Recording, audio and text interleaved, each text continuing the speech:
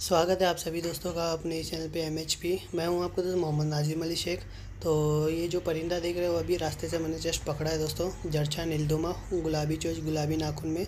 अच्छा खासा परिंदा दोस्तों, बाजी में उड़ा हुआ है लगता हट्टी जोड़ से।